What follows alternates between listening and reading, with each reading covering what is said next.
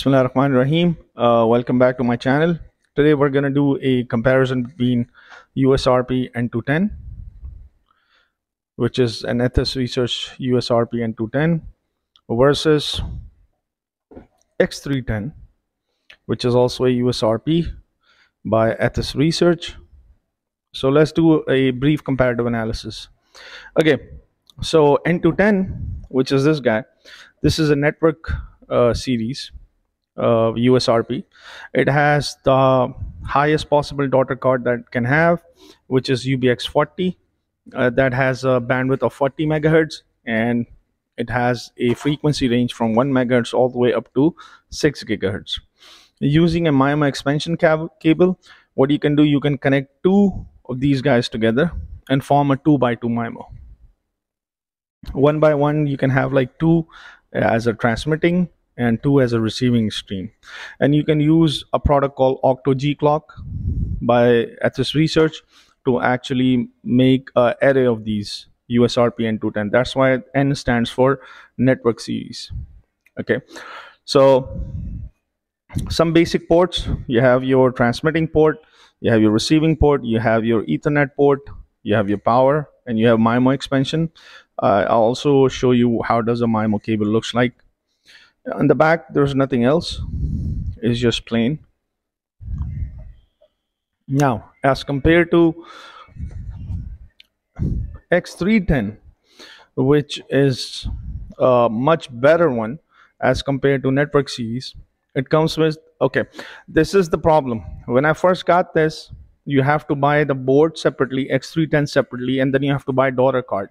So if you think it has 2 by 2 extremes. You can have two transmitting stream on the same usrp and two receiving stream on the same usrp but when you're buying it you got to make sure you're buying two daughter cards. Because i just ordered a single daughter card so this thing only has a single daughter card. To get 2 by 2 mimo from the same usrp which is your x series you need to buy two of these two of the uh, daughter cards. So in, in in inside of it it has uh, it has a space for two of the daughter cards rf daughter cards which you can mount on your x310s so I, I i got only a single one so that's why i only have a single one. If you if i have another one i'll mount it here. Then i'll get two transmitting port and two receiving port on the same board. Okay. This thing also has the same rf daughter card as compared to your network series but this one has a bandwidth of 160 megahertz. And the frequency range is from 1 megahertz all the way up to 6 gigahertz. So bandwidth is slight higher for x310s so it is known as ubx 160 that is designed specifically for x series.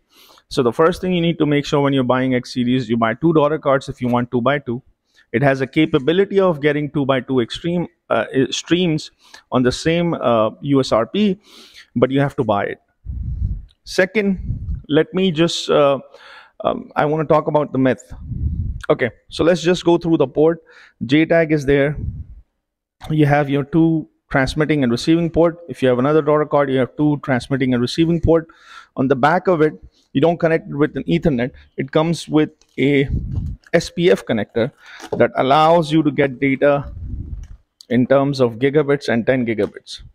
So these are the two ports where you're going to connect your ethernet cable.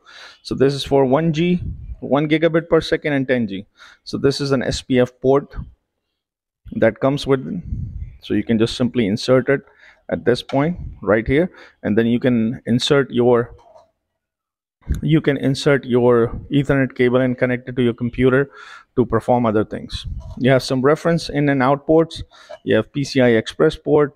You have triggering you if you want to mount gps antennas and things like that if you want to mount an additional sync clock you can also do that.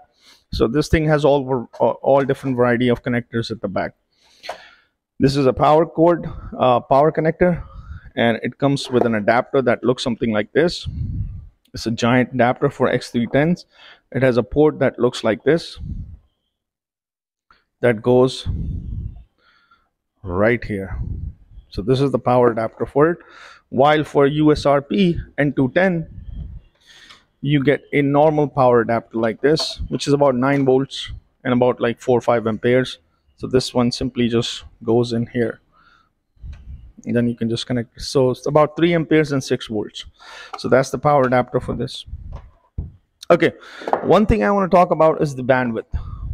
Uh, when i when i so let me just remove this spf connector i want to talk about the bandwidth of these daughter cards what do i mean by bandwidth of these daughter cards so so i have x310 here and then i have uh, n210 here uh, what do I mean by bandwidth is this. When it says UBX 40 megahertz, what it means that 40 megahertz is that you can see simultaneously, you can see a spectrum up till 40 megahertz.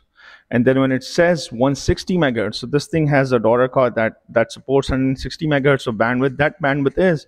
So when you're running a GNU radio and when you are visualizing the signal, you can see a signal from 80 megahertz all, I mean, you can see the signal that lies within 160 megahertz of bandwidth. That's what it means. While on USRP N210, 40 megahertz daughter card means that you can see um, up till 40 megahertz at the same time on a frequency sync or or or same thing for x310s so that's the idea behind what what do i mean by bandwidth when you're buying these daughter cards um, ubx 160 and ubx 40 is top of the line for n210 and a top of the line for X310s.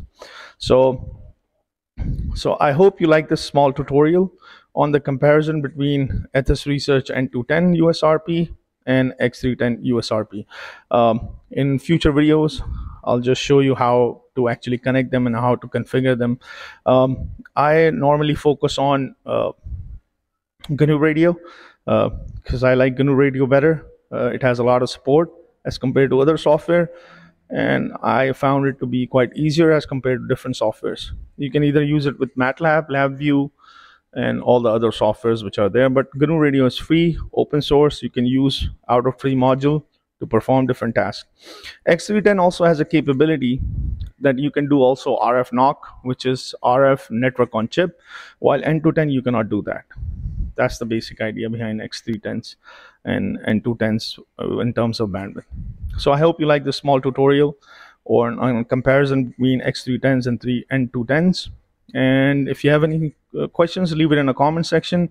And don't forget to like and subscribe to my channel.